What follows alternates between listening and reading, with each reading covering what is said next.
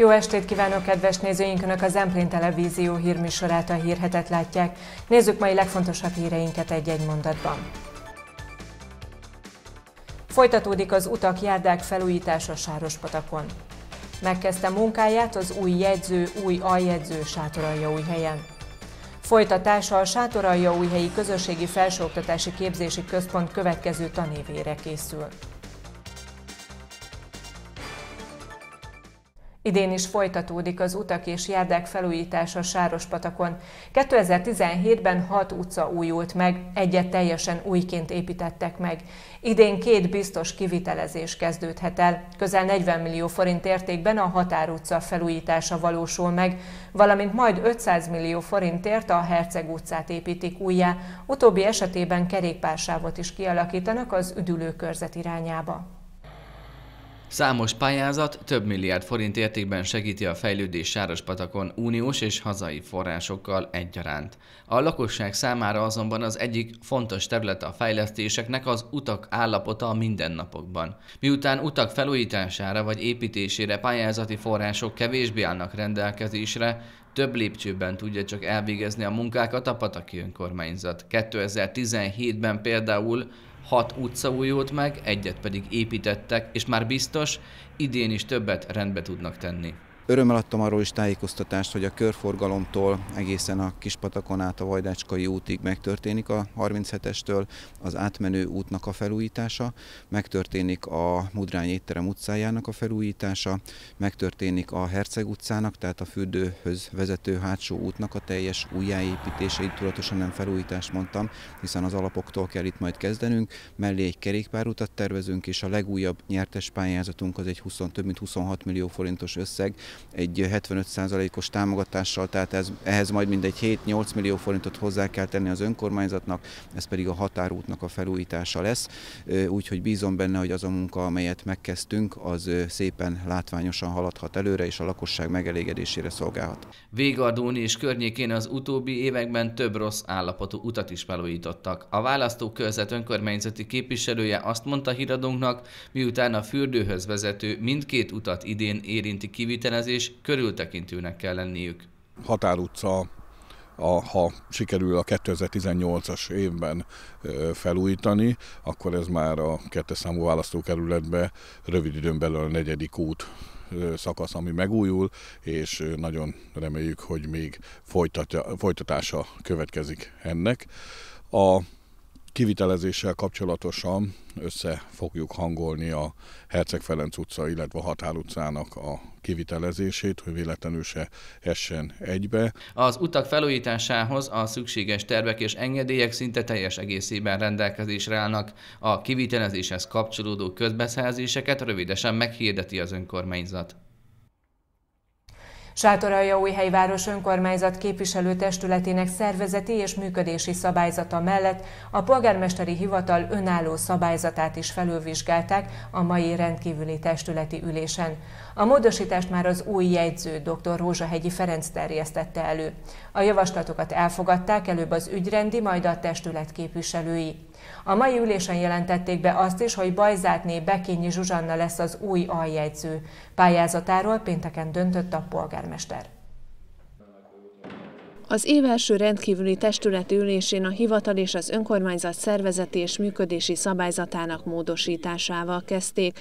Az előterjesztő a város új jegyzője volt. És a jegyző úr javaslatára úgy döntött a képviselőtestület, hogy mint ahogy a önkormányzat minden egyéb intézménynek saját sms van, amiről nem rendelkezik a képviselőtestületnek az sms -e, ezért ez álljon fenn a, a polgármesteri hivatal eset, esetében, és éppen ezért ezek a vonatkozó részek, amelyek a polgármesteri hivatal szerződés működési szabályzatára tettek utalást, ezek kikerültek az, a képviselőtestületéből, és így hozzá tud nyúlni a hivatal új vezetés, a, a polgármesteri hivatal.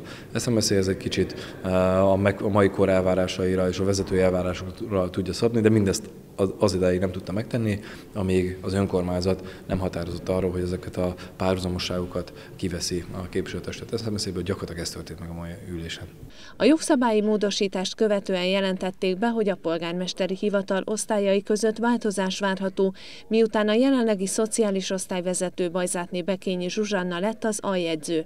Az új hivatala mellett az osztályvezetői teendőket továbbra is ellátja majd a szakember, de a pontos feladatköre még most formálódik. Minden tudásommal azon leszek, hogy az a közel 24 év szakmai tapasztalat, amit a közigazgatásban eltöltöttem, és konkrétan itt a Sátoraljaújhelyi Polgármesteri Hivatalban, ezt a szakmai tapasztalatot tudjam kamatoztatni, és ezzel segíteni jegyző munkáját ebben az új munkaköri minőségemben. A polgármesteri hivatalt, ahogyan eddig is, a jegyző vezeti.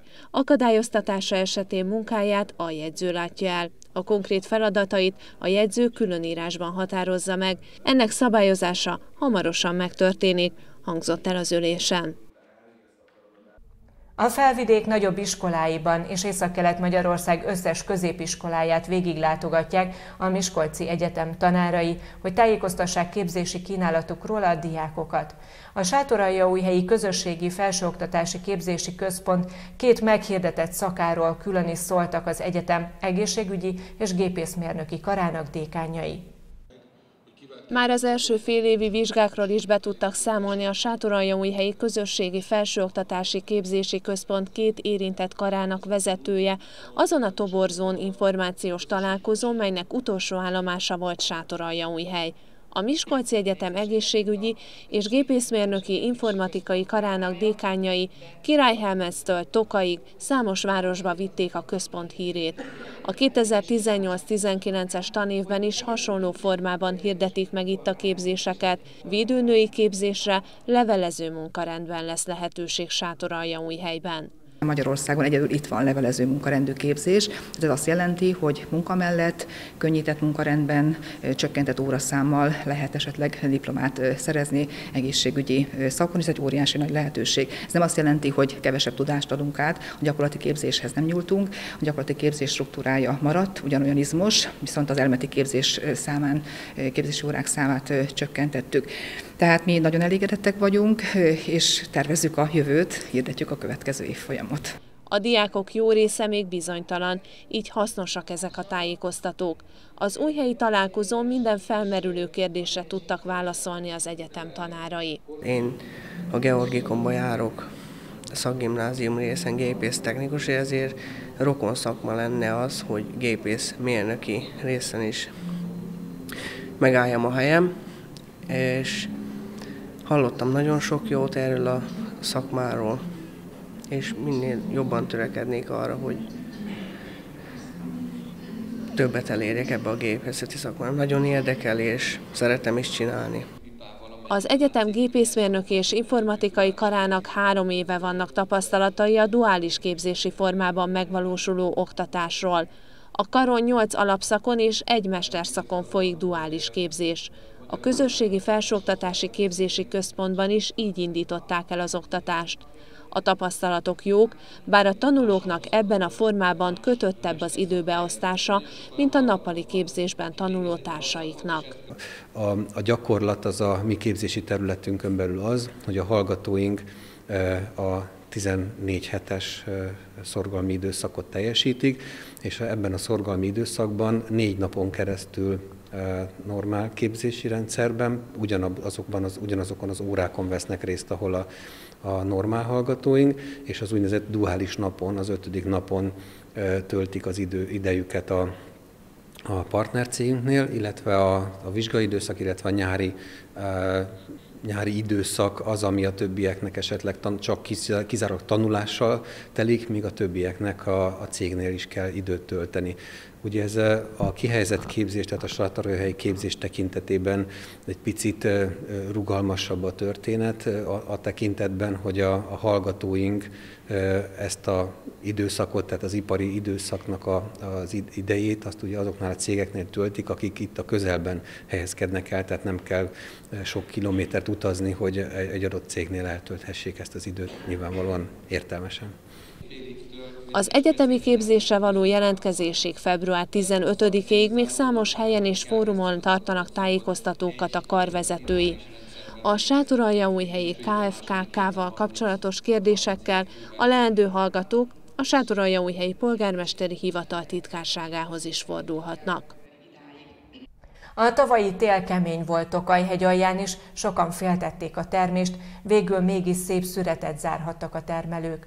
Az idei tél hőmérséklete eddig jelentősen elmarad a korábbitól, de nincs miért aggódni, mondta híradónknak a Sárospataki hegyközség elnöke. A fagyokra most nagy szükség lenne, és a hóban tárolt vízkészletre, de a szőlő fejlődése szempontjából még megnyugtató a mostani állapot. Éppen csak megérkezett a lehűlés Tokaj aljára is, eddig azonban enyhetélben pihentek a szőlők. A Sárospataki hegyközség elnöke híradónak azt mondta, a tavalyi ősz igazán szép volt a borvidék számára, kellemes időben zajlott a szület, majd rendben, jó egészségben maradtak a szőlőtőkék is. A december és január a szőlő számára pihenő időszaknak számít, de természetesen az időjárás kihat rá gyakorlatilag a mai napig nagyon enyhének mondható volt a tél. A mai nap volt egyedül, amikor egy ilyen mínusz 6, mínusz 8 Celsius fok közötti hőmérsékleteket lehetett itt mérni az északi, a borvidék északi területein.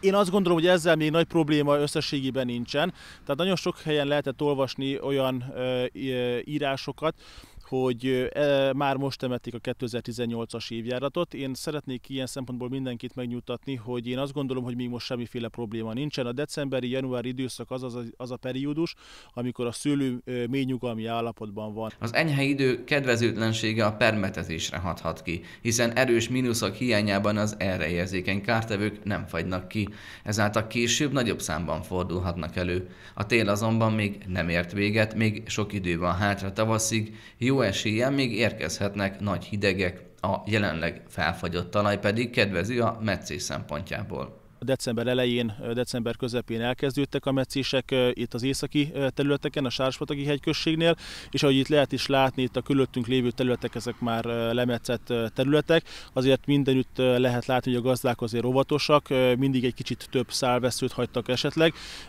készülve azokra a nehézségekre, amik még várnak rájuk majd esetleg a kötések a szálveszők lekötése előtt, ugye, hogyha például bejön egy ilyen kedvezőtlen időjárás, akkor ne okozzon ez termés kiesés nagyobb mértékben. Tehát így meg lehet azért figyelni, hogy még mondjuk, hogyha egy szálveszőt is szeretne lekötni, vagy kettőt, akkor még meghagyták a három-négy szálveszőt, akár letörés esetében is a lekötésnél előfordulhat, de, már jelentős területek vannak lemetszve, hál' Istennek. A több száz termelőt és gazdasági társaságot tömörítő Sárospataki hegyközség elnöke azt is elmondta, a szőlőszám számára az lenne a veszélyes, ha többször is mínusz 15 fok alá esne az éjszakai hőmérséklet.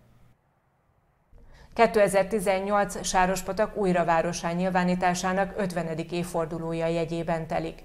Ennek kapcsán a település számos olyan programot szervez, amivel az elmúlt fél évszázad eseményeit, történéseit eleveníti meg. Esküvői fotók segítségével most az itt élők is színesíthetik ezt a programsorozatot, hiszen egy egyedülálló kiállítást szeretne életre hívni a Művelődésháza és az önkormányzat. A Sárospataki Újbástya rendezvénycentrum számos különböző műfajban adott már helyet kiállításoknak. Hamarosan azonban igazán egyedi tárlat mutatja be az elmúlt 50 év jegyeit, méghozzá esküvői fotók segítségével. Az esküvői fotók úgy véljük, hogy egyrészt sok város lakót érintő kedves emléket is felidéznek, másrészt pedig olyan látképét adják az itteni családi kapcsolatoknak és egyáltalán a város közösségének, amely egy más megközelítésben, de ugyanakkor a mi településünk szempontjából fontos összetartozásokat és kapcsolódási pontokat jelöl.